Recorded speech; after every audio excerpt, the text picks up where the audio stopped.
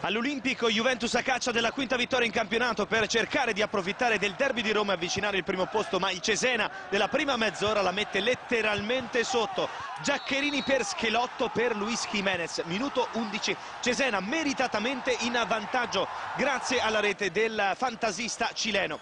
Al trentesimo serve un calcio di rigore a giudizio di Romeo, fallo di Pellegrino su Bonucci, calcio di rigore sul dischetto va Alex Del Piero, gol numero 180 in Serie A in carriera per il capitano bianconero e a fine primo tempo arriva il sorpasso, l'assist da sinistra, da destra per Marchisio, cerca Fabio Quagliarella, non dà scampo a Francesco Antonioli, gol del 2-1, vantaggio Juve che nella ripresa può agire in contropiede, minuto 87, Misic, ripescato causa infortuni dal limbo insieme a Grosso, ottima prestazione dei due per Iaquinta, gol del 3-1, finisce 3-1, punizione un po' severa per questo Cesena.